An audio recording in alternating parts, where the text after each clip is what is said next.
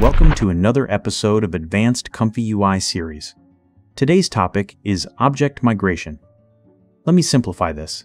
Have you wondered, is it possible to put your brand object to any environment?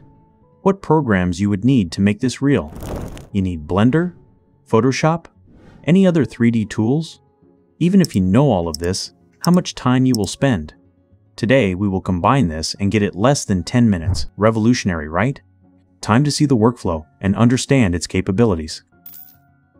First, we have two load image nodes. First one is where you put your object image. The second one is the target, the environment you want to put object. We will put our object and must open Mask Editor and mask the object fully. We use 100% hardness for the brush for this task. After that, we open the target image and mask the area where we want to put the object. We use different hardness brush for this, sometimes 100%, sometimes 50%. I am using 50% hardness on this to blend better. I paint where the object will be and also painting the shadows. According to the image the shadow will be on the left, you should imagine how it should be.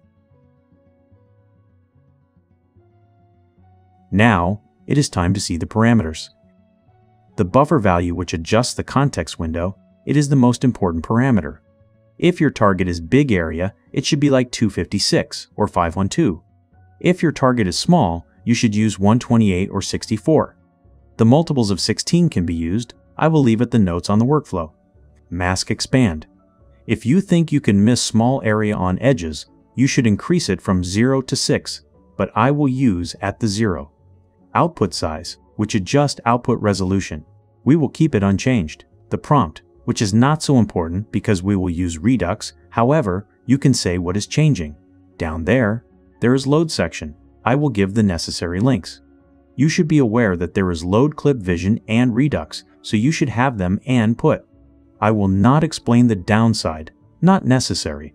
Time to explain top right side. Here we see your image from different perspectives. I only looked the first one and third one. And also, final image. First one shows like the context window you see. Third one is the final image compare. Rest of them also, you can look if you want to. This workflow was problematic that even if it did the object migration, there was dark aura on the outside. I fixed it by adding Gaussian blur mask and adjust the brush hardness. Remember this. The more you use blur, better it blends. At the end, we have result section the end result which we will save. You can see that we have still small dark area which cannot be fixed. Just small adjustment on Photoshop will fix it later. The result was amazing. It even know where the light come from and make the shadows, from 2D object to 3D with the environment we want. Just small fix we have to do, we will repaint the logo and make the logo resolution higher and make more correct. So, to correct our logo, I am using workflow without the blur fixes. I gave you this workflow too. You see we have two, with and without blur fix. Now with these parameters, with lower buffer, it is simple. We mask only the logo to change on both images. After that you see we have made it, but we have only small issue which is text as you can see. The text can be fixed as long as it is not too complex. I mean that you can correct all text by repainting it. But if it is like this shape, it couldn't be read. I will show you how I integrate the text also on the following minutes. Now let me show you some different examples for integrating objects. You should be aware of buffer values I am giving you now. Now I will give you the object and the scene photo to be integrated, and results. First one is shoes, and this environment, also settings are written. You see with buffer value of 512 with big objects works well. Now again, 512 buffer different scene. You see we have small error, Usually, there are no errors, but if the target is too big compared to reference object, this occurs. I will fix it with object removal later. Now I will show you how the brush hardness affects the output. The more you close to 100% brush hardness, the more your object position will be familiar. But in case of smoothness, it is better to be like 75% brush hardness. Choice is yours.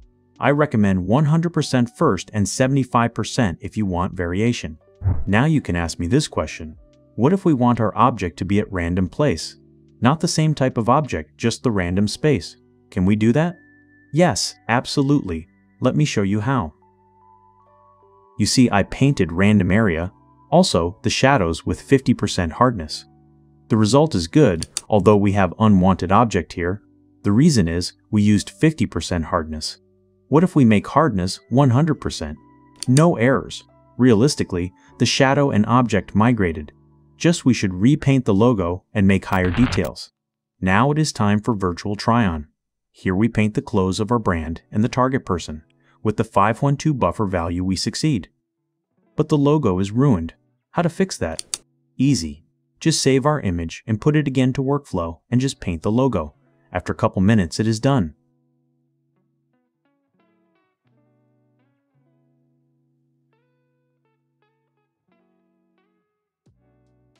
Now the last thing I want to show you is how to migrate the text on any surface, like complex one. But note that you cannot migrate all complex shapes and texts, it is depends on the complexity. Just paint the text you want to transfer, and paint the area you want to put, but make hardness 50%. It is also depending, but if it is much blur where you target, it is better to make hardness 50% of the brush. Then you won. Well, testing many parameters and fixing this workflow was not easy. The workflow was not mine. I just fixed and explained it. Do not forget to visit the owner of the workflow. I will leave the link. Next video probably will be about the depth map. Thank you for watching.